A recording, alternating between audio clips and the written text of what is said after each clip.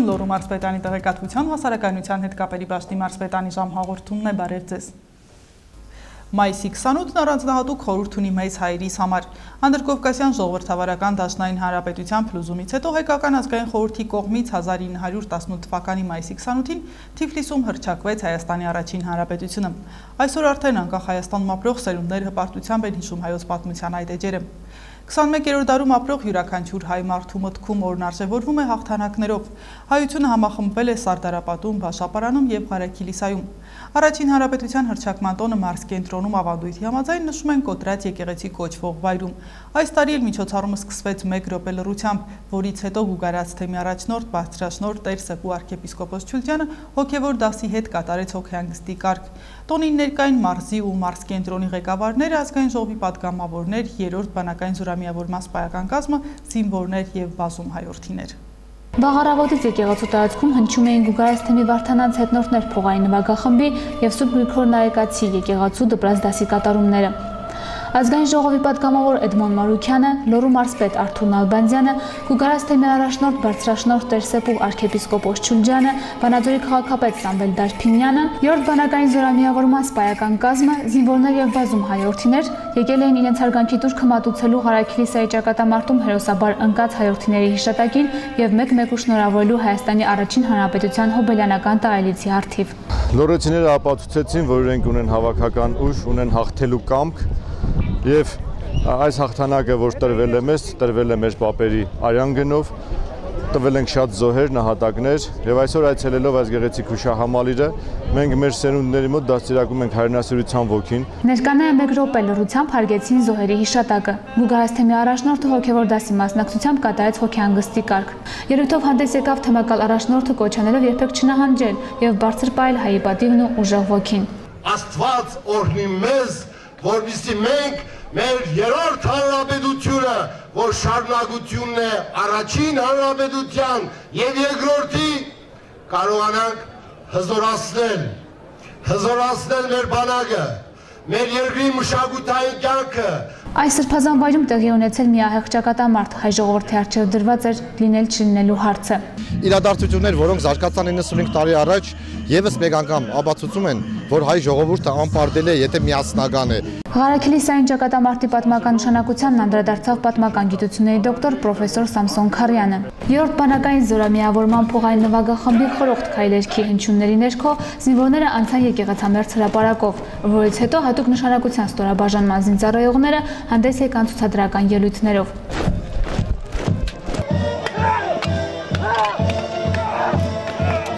Այնուհետև ներկանայած ծաղկեպսակներ եւ ծաղիկներ դրեցին հուշախճքարին։ Վերջում Վանաձորի տարբեր մշակութային օջախների սաները հանդես եկան գեղարվեստական համարներով։ Էմա Գրիգորյան, Լիլիթ Յոլչյան, Մարսպետարանի ժամ։ Մարզի մի շարք համայնքներում այս շաբաթ տեղի ունեցան մայիսի 28-ին նվիրված միջոցառումներ։ Այդ շարքից էր նաև դրամատուրգ Սամվել Խալաթյանի հրադադար ներկայացումը, որը բեմադրվեց Վանաձորի Հովանես Աբելյանի անվան պետական դրամատիկական թատրոնի բեմում։ Նույն բեմում 2011 թվականի սեպտեմբերին Հայաստանի Հանրապետության անկախության 20-ամյակի առիթով ներկայացման պրեմիերաներ Մայիսյան հաղթանակների առիթով այն կրկին թատրոնի բեմում է։ Հրադադարը դեռևս խաղաղություն չէ, Սամվել Խալաթյանի պիեսի ասելիքն արտիական է նաև մեր օրերում։ Բեմում 90-ականների Արցախն է, կորուստներով ու հաղթանակներով։ Հայաստանի Հանրապետության վաստակավոր արտիստ Ռազմիկ Խոսրոյևի բեմադրության նպատակը հայրենիքի համար կռվող հասարակ մարդու հոգեբանությունը բացահայտելն է։ Հրադադարը դեռևս պատերազմի ավարտ չէ եւ դեռևս հաղթանակ չէ։ Ի վերջո հաստատեցի մենք հիմա էլ հարաբերական հրադադարի մեջ ենք եւ ամեն օր էլ սահմանում կրակոցներ են լինում նույնիսկ զոհեր։ Այսօր պիեսը բեմում է մայիսյան տոների առիթով։ Հրադադարի 20-ամյակին բեմադրությունը հանրությանը կներկայացվի լրամշակված եւ փոփոխված տարբերակով։ Այսպիսի ներկայացումներ մեր հանդիսատեսին պետք է, մեր երիտասարդությանը պետք է դա հայրենասիրական շունչ է, հայրենասիրական թեմա է։ Հրադադար պիեսը համահայկական գրական մրցույթում արժանացել է առաջին մրցանակի։ Հեղինակն այս գործը կարևորում եւ առանձնացնում է որպես ազատագրական պայքարի եւ ազատամարտիկների նկատմամբ ունեցած երախտիկի արտահայտություն։ Ուրախ եմ, որ այսօր Հանրապետության տոնի նախորդին թատրոնը որոշեց դարձյալ ներկայացնել այս բեմադրությունը։ Դա կարծես նվեր էր այս տոնի համար։ Մանավանդ մայիսը հաղթանակների ամիս է, արդյունք տվելով շնորհավորում եմ բոլորիս հանրապետության օրվա արդիվ։ Էմա Գրիգորյան, Երեդիոչյան, Մարսպետարանի ժամ։ Հունիսի 1-ը նշվում է որպես երեխաների իրավունքների պաշտպանության միջազգային օր, մանուկների իրավունքների պաշտպանության օրը մարզպետ Արթուր Նալբանդյանը տոնել է մարզ կենտրոնի ու համայնքների փոքրիկների հետ, այցելել մանկապարտեզներ, խնամքի հաստատություններ, երեխաների խնդիրներով զբաղվող կազմակերպություններ։ Վանաձորի մանկատան փոքրիկներից է Մարսի ղեկավարին համոզում է, որ Հայաստանն է նկարել։ Իր հայրենիքը հենց այդպես է պատկերացրել։ Հունիսի 1-ին Մարսի ղեկավարը առաջինը շնորհավորում է մանկատան փոքրիկներին։ Սա ավանդույթ է, որ ձևավորվել է դեռևս Ալավերտու քաղաքապետ լինելու ընթացքում։ Այժմ էլ քաղաքի նոր ղեկավարությունն է շարունակում բարի ավանդույթը։ Հյուրերը նախ շրջեցին մանկատանը, համակարգչային սենյակում եղան հոգեբանի եւ սոցիալական աշխատողի սենյակն էլ վերջերս է վերանորոգվել ու գույքի պակաս ունի։ Տեղում որոշվում է սեղաններ եւ աթոռներ մարսպետի կողմից։ Ապա արդեն Բաքում ուր փոքրիկներն են շնորհավորական խոսքեր են հնչում, մանուկներն էլ իրենց երկու պարով ողջունում ու ճանապարհում են հյուրերին։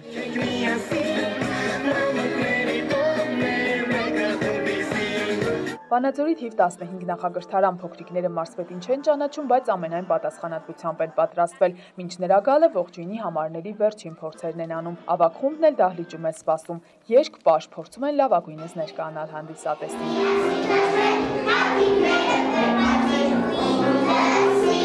Վանաձորի փոքրիկ իշխան կենտրոնում մարսպետն առաջին անգամ է չնայած հասցրել է աջակցություն ցույց տալ տեխնիկական սարքերի տեսքով։ Այսօր կենտրոնում փոքրիկներ չկան, քանի որ տոն է, ու մարսպետին սպասում են քաղաքային այգում, իսկ մնացած օրերին այստեղ տասնյակ երեխաներ լրացուցիչ կրթություն, դաստիարակություն, սոցիալական աջակցություն են ստանում։ Մարսի ղեկավարին փոքրիկ իշխանի համակարգողը ծանոթացնում է կենտրոնին, իսկ փոքրիկ շահառուների հետ առաջին հանդիպումն արդեն այգում է։ Այս միջոցառումից մարսպետն առավել տպավորված է։ Իշ խոսքում ասում է, սա այն տոներից է, որին մասնակից չդառնալ եւ անտարբեր մնալ հաստատ չի ստացվի։ Հունիսի 1-ին անկեղծ ասած իմ տրամադրությունը չափից դուրս բարձր է լինում, հենց առավոտվանից սկսած, եւ այս օրը մենք պլանավորում ենք շատ միջոցառումներ հնարավորինս երեխաների հետ շփվելու ոնց որ թե ստացվում է եւ ես վստահ եմ որ այս տոնը ոչ միայն երեխաների տոնն է այս տոնը ընտանիքների տոնն է որովհետեւ ընտանիքները ամուր ու երջանիկ են եթե ընտանիքում անհոգ մեծանում են երեխաները մենք ամեն ինչ անելու ենք որպեսի մեր մարզում մեր երեխաները մեծանան անհոգ ցանկանում եմ որ երեխաները միշտ լինեն վառ արևի տակ, միշտ երջանիկ, կանաչ ճանապարհ են մաղթում նրանց։ Իմ կողմից էլ ուզում եմ վստահեցնել, որ երեխաները ամենօրյա մարսպետանի ուշադրության կենտրոնում են եւ մենք ամեն ինչ անելու ենք, որպեսզի նրանց յուրաքանչյուր օրը տոն դառնա։ Բոլորը ուրախել են, լավ մեծանան ու լավ սովորեն։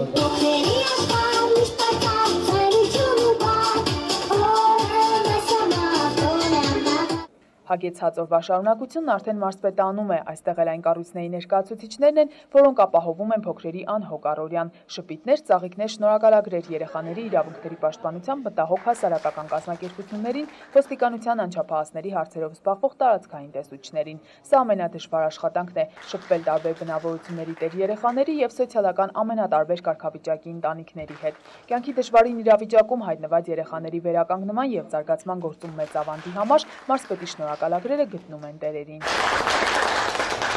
Եվ որվա վերջին կանգառը Մարգահովիտ համայնք այստեղ խնամատար ընտանիքում արդեն 6 տարի է ապրում է 9-ամյա Արմեն Խաչատրյանը։ Լիզա Գևորգյանը տարիներ առաջ որոշել է երրորդ երեխային պետք է մեծացնի։ Իշ տղան եւ աղջիկն արդեն մեծ են։ Ասում է Արմենը լսող երեխա է, լավ է սովորում։ Այսօր անսովոր անհանգիստ է, մարսպետն է հյուր գալու։ Ասում է միայն հերոստատեսությամբ է տեսել առաջին հանդիպումն էլ ստացված է։ Տղան հպարտությամբ ցույց է տալիս օրագիրը բարձր գնահատականներ ողջ տարվա ընթացքում։ Մաթեմատիկայի հարցում էլ իրեն հասնող չկա։ Մարսպետի կողմից ընտանիք ընտանիքին դրամական աջակցություն ընտանիքի կարիքները հոգալու համար։ Արմենին էլ հեծանիվ արցակուրտներին հանգստանալու համար իսկական նվեր է։ Մարսպետը խոստանում է ամառվա ընթացքում անպայման մեկ անգամ եւս հյուր լինել։ Արմենի ծննդյան օրը դրա համար լավագույն առիթն է։ Աննա Պեչենևսկա, Արտակ Բրուցյան, Մարսպետանի ժամ։ Երեխաների պաշտպանության միջազգային օրվան նվիրված միջոցառումների շարքը մարզկենտրոնում նախապես էր մեկնարկել։ Հունիսի 1-ին ընթരാճ Վանաձորի Շարլ Ասնավուրի անվան մշակույթի պալատի կինոդահլիճում ցուցադրվել է հայկական մուլտֆիլմերի շարք։ Վանաձորում է եղել նաև մուլտերի սցենարի հեղինակ եւ ռեժիսոր Լալամ Նացականյանը։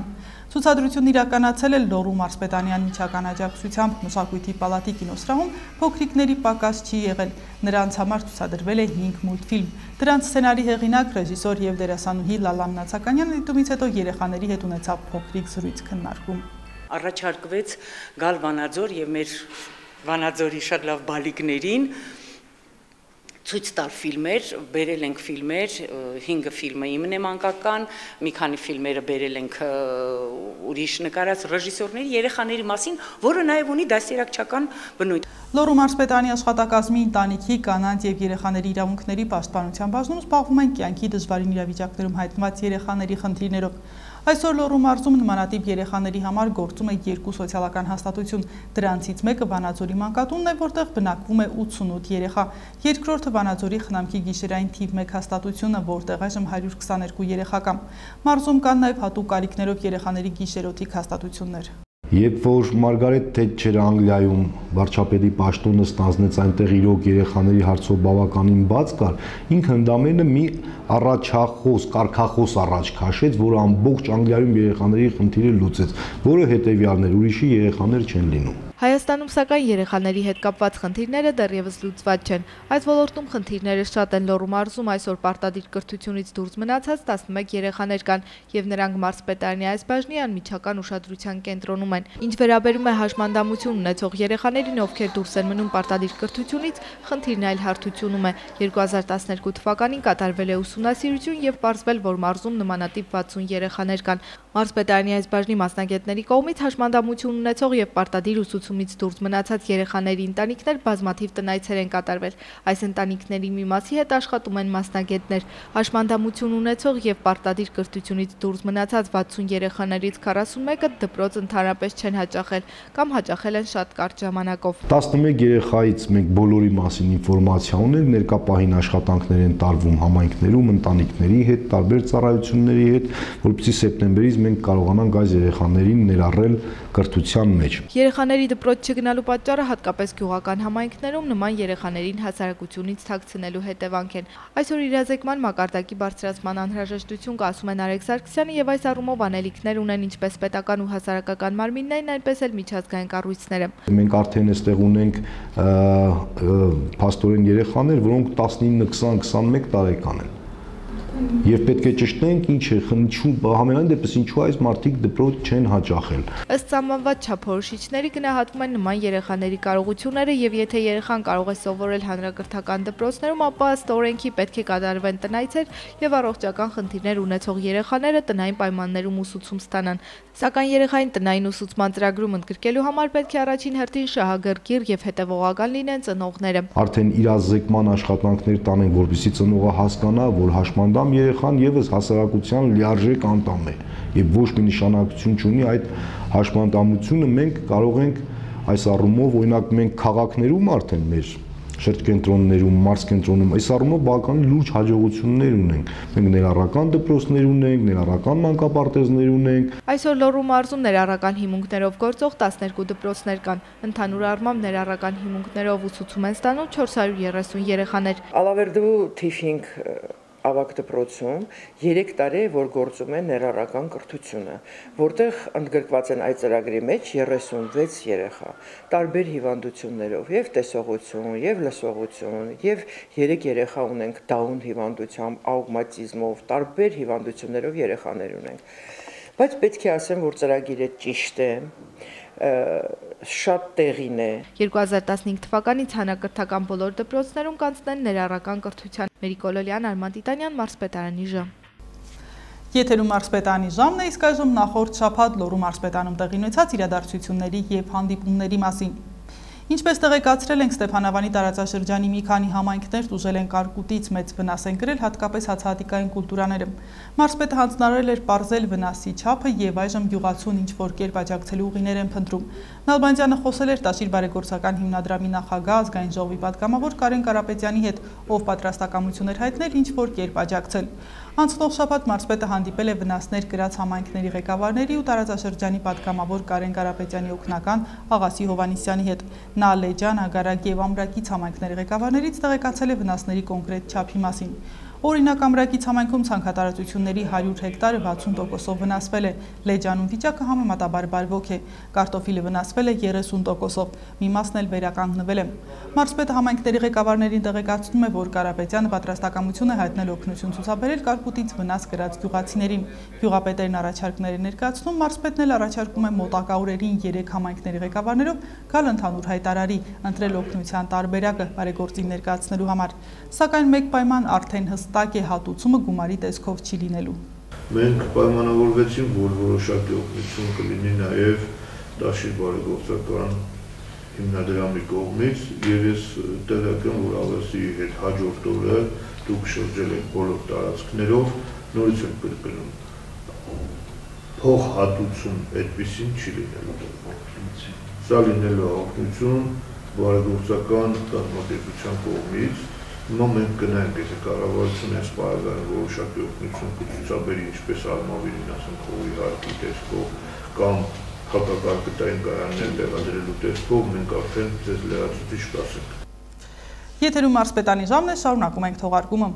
Նախորդ շաբաթ Արթուր Նալբանդյանն ընդունել է շվեյցարական Դիակոնիա կազմակերպության ներկայացուցիչներին։ Կազմակերպությունը մարդասիրական մի շարք ծրագրեր է իրականացնում Լոռիում։ Մարզի հետ համագործակցության լավ հիմքեր են դրված։ Ճանաչողական հերթական այցը նպատակ ուներ բարձելու հետագա համատեղանելիքները։ Հյուրերը մարզի ղեկավարից հետաքրքրվում են համայնքներից, բնակիչներից, հիմնական զբաղմունքից ու հետաքրքրություններից։ Ի պատասխան Նալբանդյանն ասում է, որ գնահատում է մարզի զարգացման ուղղված ցանկացած նախաձեռնություն, անկախ մասշտաբներից ու հատկապես մեծ կարևորություն է տալիս սոցիալական բնույթի ծրագրերին։ Միայն թե դրանք պետք է համահունչ լինեն պետական ներդրումներին, նաև մարզի զարգացման քարամյա ծրագրին։ Արդյունաբերություն, գյուղատնտեսություն, զբոսաշրջություն, սրանք մարզին զարգացում բերող հիմնական ուղղություններն են։ Հատկապես գյուղական համայնքներում, որտեղ բյուջեի հնարավորությունները սահմանափակ են, ծրագրերը երբեք ավելորդ չեն լինում։ Հիմնականում սոցիալական ուղղությամբ ծրագրերի հեղինակ կազմակերպությունը մարզում ներդրումների ծավալը մեծացնելու քայլեր է մշակում։ Ինչպես պարզվում է զրույցից, նրանց հետաքրքիր է զբոսաշրջությունն ու գյուղատնտեսությունը։ Հյուրերի աչքից չէին վրիպել անմշակ մնացած գյուղնշանակության հողերը։ Գյուղաբնակները գյուղատնտեսությունը եկամտաբեր չեն համարում ու երես են թեքում հողից։ Սրան նպաստում է արտագաղթը, նոր տեխնիկայի բացակայությունը, մասնագետների խորհրդատվության պակասը եւ այլն։ Նալբանդյանը խոսում է այս ուղղությամբ պետական ծրագրերից Դիակոնիա կազմակերպության կողմից չի բացառվում սահմանամերձ գյուղերում անասնապահության զարգացման տանող ներդրումային որևէ ծրագրիր սկսելը, ասենք խոշոր եղջերավորների տրամադրման ծրագիր։ Սրա նախադեպը Մարսն ունի կազմակերպության ներկայացուցիչները գրի են առնում առաջարկները քննարկման արդյունքները դիտարկելու եւ մոտ ապագայում գործնական առաջարկներով հանդես գալու համար։ Անկեղծ ասած, որևէ միջազգային կառույցի հետ այսքան արագ մեր կապերը չի ստացվել որ կոնկրետ անցնենք գործնական քայլերի, որովհետև շատ պարագայում մենք ուսումնասիրությունների ավելի երկար ու տանջալի ժամանակ ենք անցկացնում, քան կոնկրետ գործողությունների եւ քայլերի։ Կրթության գիտության նախարարության եւ Մայրաթոր Սուրբ Էջմիածնի քրիստոնեական դաստիարակության կենտրոնի նախաձեռնությամբ Հայաստանի բոլոր մարզերում եւ Երևանում մեկնարկել է տարվա լավագույն տնորեն եւ տարվա լավագույն դաստիարակ մրցույթը։ Այն առաջին անգամ է անցկացվում միայն հանրապետական փուլով։ Մասնակցում են նախադպրոցական հաստատությունների տնօրեններ եւ մանկավարժներ։ Լոռու մարզում արդեն հայտնի են հաղթող տնօրենի եւ դաստիարակի անունները։ Մարզի լավագույն դաստիարակ ճանաչված Աննա Հակոբյան եւ լավագույն տնօրեն Արմայդա Աբովյանը երկուսն էլ Վանաձորից են։ Մրցույթին մասնակցությունը կամավոր սկզբունք է գրել։ Այն երկու գրավոր եւ բանավոր փուլերով է եղել։ Լոռու մարզից մրցույթին մասնակցել է 11 հոգի։ Կարծում եմ ցավոք սրտի մի փոքր քիչ է, բայց զարգ կլինի հետագա մյուս տարիների համար ավելի համարցակ կգան եւ կմասնակցեն։ Ակնկալիքներս նա է, որ կշփվեմ մյուս վաստակաշատ մանկավարժների հետ, նրանց տարիների փորձից կտանեմ մեր մանկապարտեզ այն լավ, ինչ նրանք կունենան։ Մարաթոր Սուրբ Էջմիածնի քրիստոնեական դաստիարակության կենտրոնը տարեստարի ընդլայնում է դպրոցներում իրականացվող հոգևոր կրթության ծրագրերը։ Այսօր քրիստոնեական դաստիարակության կենտրոնն իր արչև խնդիր է դրել նոր ծրագրեր իրականացնել նաև նախադպրոցական ոլորտում։ Հայաստանի Հանրապետության բոլոր մարզերից եւ Երևան քաղաքից հաղթող ճանաչված տնօրենները, դաստիարակները եւ իրենց սաները հունիսի 1-ին երեխաների պաշտպանության միջազգային տոնին հայոց հոգևոր կենտրոն Սուրբ Էջմիածնում կստանան Գարեգին II ամենայն հայոց կաթողիկոսի օրհնությունը։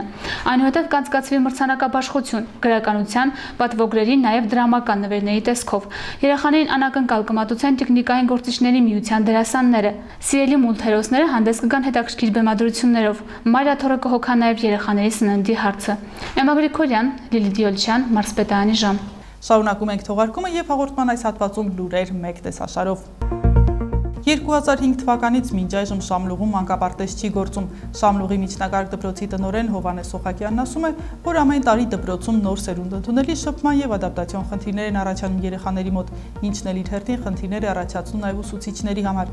Մանկապարտեզի կարիք խիստ զգացվում է։ Շամլուղում մանկապարտեզ հաճախելու տարիքային խմբի պատկանող 75-ից ավելի երեխա կամ։ Շամլուղի քաղաքապետ Լենդրուժ Բեժանյանն ասում է, որ մանկապարտեզի շենքը իրենց չի պատկանում, այլ պատկանում է հանքերը շահգործող կազմակերպությանը։ Սակայն ինքն արդեն պայմանավորվածություն ունի նրանց հետ, որ շենքն իրենց հանձնեն։ Հստակ ժամկետ սակայն քաղաքապետը չնշեց։ Պայմանավորվածություն կա նաև մարզի ղեկավարության հետ, որպիսի շենք ստանալուց հետո այն 5-րդ հրատապով վերանորոգվի, ասում է քաղաքապետը։ Երբ որ հանքերի ղեկավարությունը մանկապարտեզը հանձնի համայնքին, քանդված վիճակում է, բայց որ հանձնի կվերանորոգենք, ասենք թեկուզ բյուջեի սղության եւ այլ եւ այլ բաներով մի կերպ կանենք աշխատացնենք Դա բոլորիս ցանկությունն է։ Ամիսներ առաջ հրատապ ծրագրով սկսվեց Հագբի գյուղի ակումբի շենքի հիմնանորոգումը։ Նախկին կիսավեր շենքը հիմնովին քանդվել է եւ նույն տեղում արդեն բոլորովին նոր շենք է կառուցվում։ Շենքը գրեթե պատրաստ է, շինարարների հիմնական գործն ավարտել են, հիմա անցել են ներքին հարդարման աշխատանքներին։ Գյուղի համայնքային կենտրոնի կառուցման համար ներդրում կատարվել է համայնքներին հատկացվող հրատապ ծրագրերի շրջանակներում։ Պետական բյուջեից այդ նպատակի համար ներդրվել է ընդհանուր առմամբ 35 միլիոն դրամ։ Նորակառույց կենտրոնը նախատեսված է գյուղապետարանի, համայնքային գրադարանի ու փոստի համար։ Առաջին հարկում կլինի նաև 60 մարդու համար նախատեսված ժողովների ու հանդիսությունների սրահ։ Հիմա գյուղապետարանի ամբողջ աշխատակազմը տեղակայված է ընդամենը մի փոքրիկ սենյակում։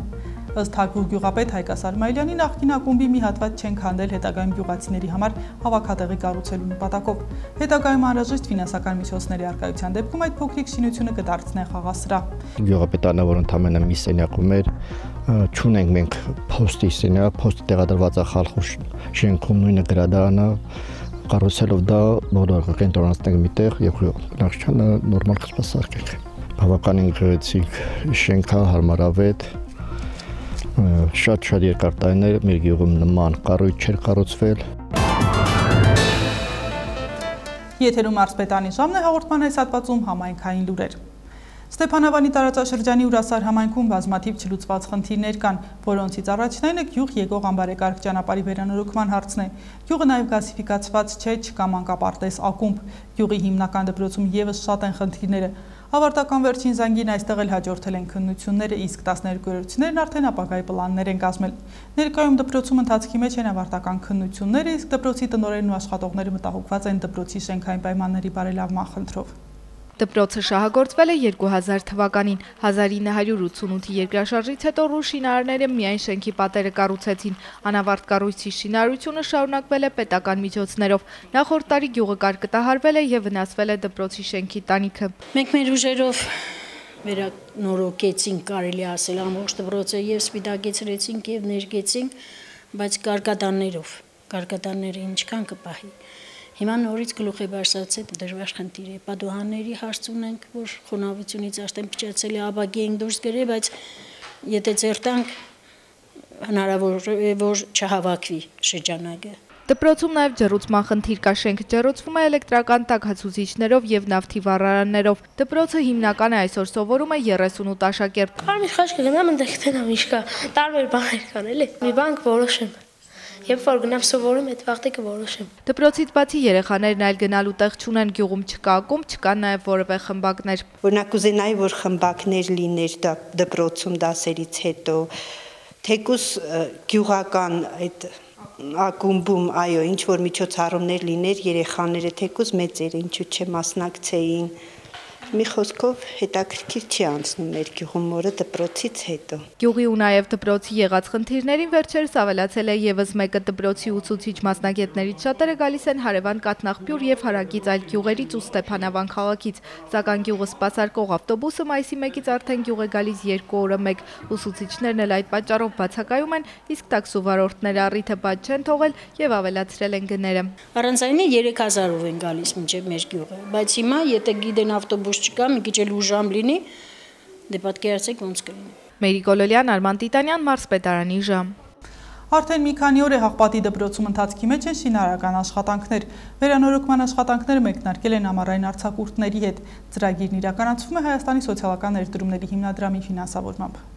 Հաղպատի դպրոցի շենքի վերանորոգման համար սոցներդրումների հիմնադրամից հատկացվել է շուրջ 130 միլիոն դրամ։ Գյուղապետարանի ներդրումը 1.5 միլիոն դրամ է կազմել։ Համայնքն իր վրա է վերցրել նաև քանդման աշխատանքները։ Կապիտալ վերանորոգումը տանիքից, միջնապատերից, հատակից բոլոր աշխատանքները պետ, պետքա կատարվի։ Դպրոցը վաղուց արդեն վերանորոգման կարիք ուներ եւ շինարարական աշխատանքները ճիշտ ժամանակին էին, ասում է Հաղպատի գյուղապետի տեղակալը։ Դպրոցի վերանորոգման աշխատանքները նախատեսվում է ավարտին հասցնել 210 օրից։ Մենք երկու օր աշխատում ենք ու արդեն ու համարյա վերջացրել ենք այս երկրորդ հարգի աշխատանքները։ Պետական հատկացումներով հրատապ ծրագրերի 4-րդ փուլով հիմնանորոգվում է նաև գյուղի մշակույթի կենտրոնը։ Վերանորոգվող շենքում տեղակայվելու են գյուղապետարանը, հայփոստի բաժանմունքը, բուժկետը գյուղապետարանում նախատեսում է նաև շախմատի եւ բարի խմբակներ բացել։ Շինարական աշխատանքները սկսել են մարտի 25-ից։ Դրանք իրականացնում է Կանակա սահմանափակ պատասխանատվությամբ ընկերությունը։ Մնում է դրսի գործերը, այսինքն մեր ամենաբան կողմը դրսի աստիճանների խնդիրն է, որ մոտորից դա էլ կսկսենք։ Շինարական աշխատանքներում ընդգրկված է 17 մարդ։ Մերի Գոլոլյան, Գևորգ Քոչինյան, Մարսպետարանի ժամ։ Լոռու մարզի Սպիտակի տարածաշրջանի Գոգարան գյուղը բազում խնդիրներ ունի՝ ջրագծերի նորոգումից մինչև բնակարանաշինություն։ Գյուղում մանկապարտեզ չկա, գյուղացիները խուսափում են հողագործությունից։ Տասնյակ ընտանիքներ ավելի քան 20 տարի տնական պայմաններում են ապրում։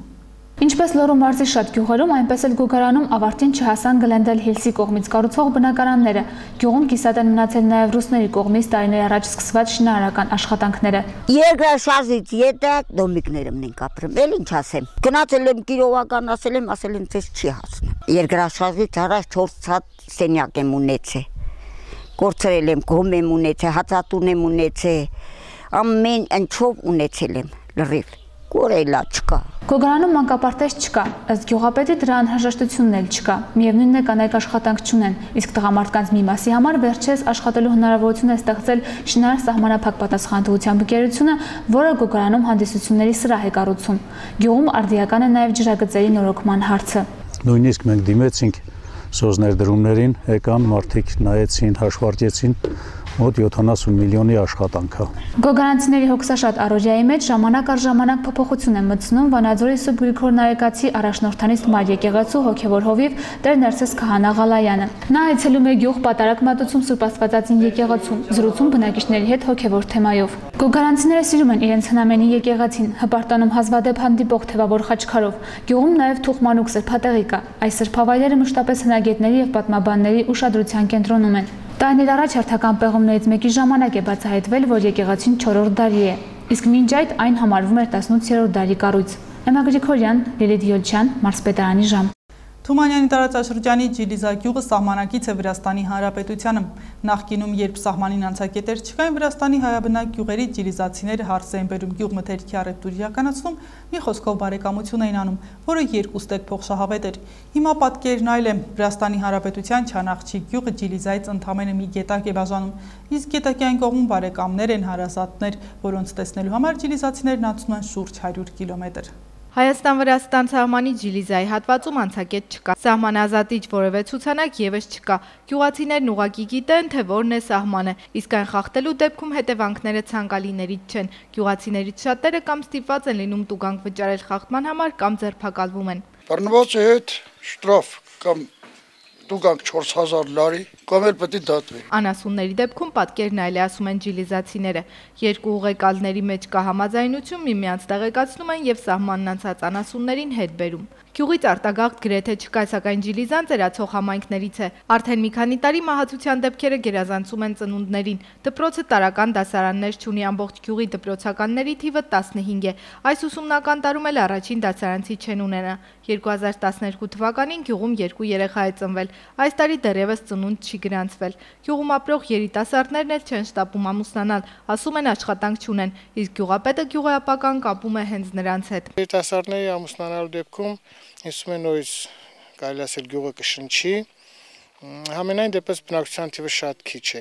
բայց ելի եմ ասում արտագաղթի պատճառով չէ։ Ջիլիզային սահմանակից վրացական համայնքները հայաբնակ են եւ ջիլիզացիները բարեկամական կապեր ունեն այդ գյուղերի բնակիչների հետ։ Ծնող որ կա, ուզաչուզած գնվում է, ինչքան ուզում է դժվար ապրես, բայց դե որ սահմանը բաց էր ոդկով երեխանցս հետ գնում է։ Հիմի որի գնում է մենակ եմ գնում։ Գյուղը գազիֆիկացված չէ ձմռան եւ ամռան ամիսներին ջիլիզացիները նաեւ խմելու ջուր չեն ունենում։ Այս հարցն առաջիկայում կլուծվի այդ նպատակի համար մարզերի համաչափ զարգացման ծրագրով Լոռու մարզպետանի կողմից 15 միլիոն դրամ է հատկացվել ջրընդունիչների վերանորոգման համար առաջիկայում եղանակների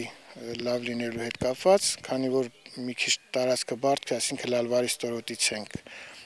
ջրերը գալ դեպի ջլիզա, աշխատանքները կսկսվեն, հույս ունեմ, որ հունիս ամսվա սկզբներին աշխատանքները կսկսվեն։ Մերիկոլոլյան Արմեն Հովսեփյան մարզպետարանի ժամ։ Եթերում մարզպետարանի ժամն էր, հետևեք նաև հաղորդման կրկնություններին, իսկ ես ձեզ հրաժեշտ եմ տալիս ցտեսություն։